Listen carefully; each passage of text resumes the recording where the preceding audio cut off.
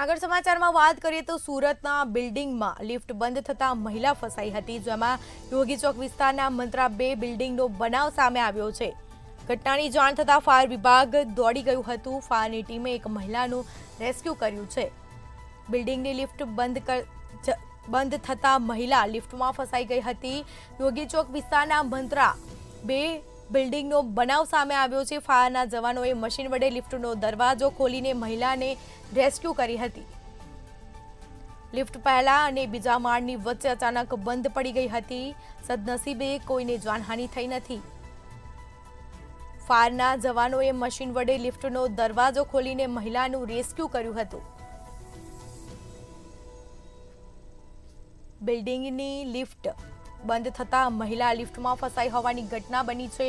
ઘટનાની જાણ થતાં ફાયર વિભાગ દોડતું થયું હતું. ફાયરના જવાનોએ મશીન વડે લિફ્ટનો દરવાજો ખોલીને મહિલાનું રેસ્ક્યુ કર્યું હતું.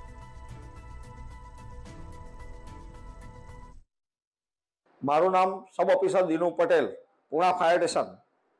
દસ ને સત્તાવને અમને ફાયર કંટ્રોલમાંથી કોલ મળેલ કે યોગી ચોક, તિરુપતિ તિરુપતિ ગેટની બાજુમાં અ, મંત્રા એક વ્યક્તિ ફસાયેલો હતા. લિફ્ટમાં જેમને રેસ્ક્યુ કરવા માટે અમને ગયેલ.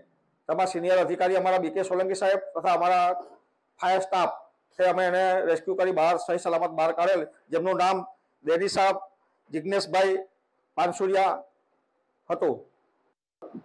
મારું નામ